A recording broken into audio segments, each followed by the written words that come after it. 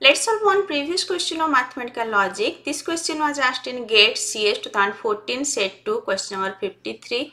Which one of the following boolean expressions is not a tautology and four options are given.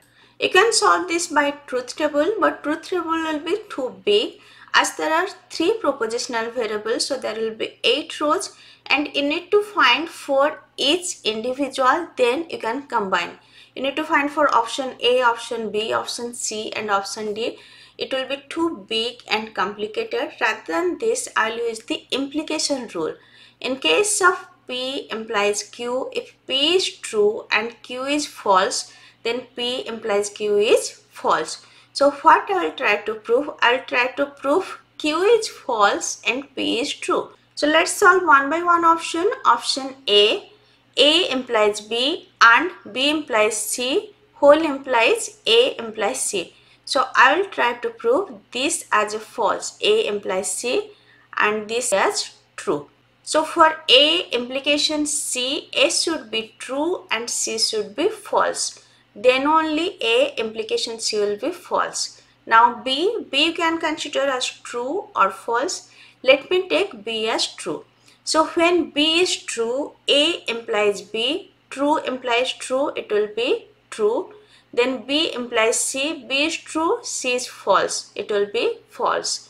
Now true and false, whole implies A implies C is false. So true and false is false, false implies false is true. In case of and, true and true will be true, rest it is false.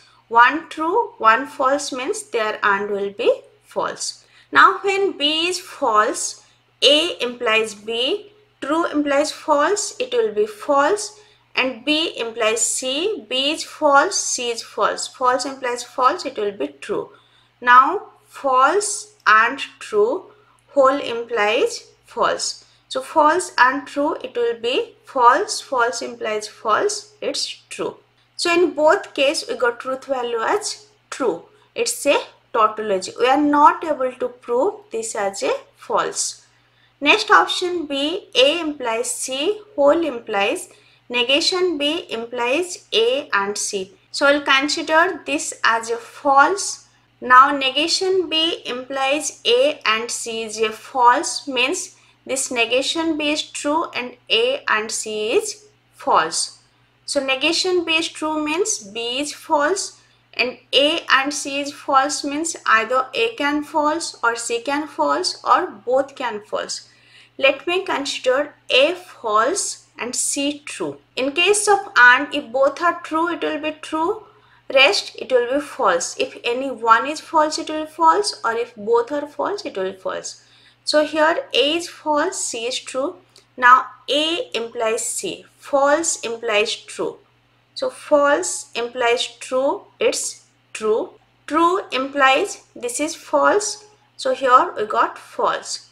When both A and C are false, A implies C will be true and this is false. So true implies false, it's false. In both cases, when A false, C true and when A false and C false, we found it's not true. It's false. So it's not a tautology. You can also check a is true and c is false. Here also a and c will be false. True and false will be false. Now a implies c. A implies c will be true implies false. It will be false. Now false implies this is false. It will be true. So when a is true c is false it will be true when A false, C true, it's false. When A false, C false, it's false. Anyway, if for at least one situation it's false means it's not a tautology. So option B is not a tautology. Next check option C. A and B and C implies C or A. So let's this as a false C or A.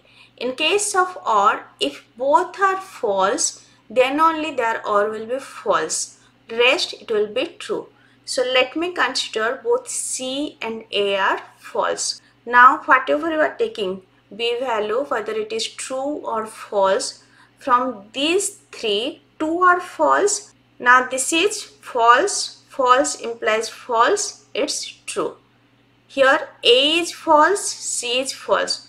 Whether B you are taking true or false, anyway, C are false means this whole and will be false. So false implies false, it's true. Next option D, A implies B implies A. Consider this as a false. So B implies A will be false when B is true and A is false. A is false, false implies false, it's true. That's why it's a tautology. So if found option A is tautology, option C is tautology, option D is tautology while option B is not tautology, answer will be option B. You can also solve by truth table. It will be little big but you can try.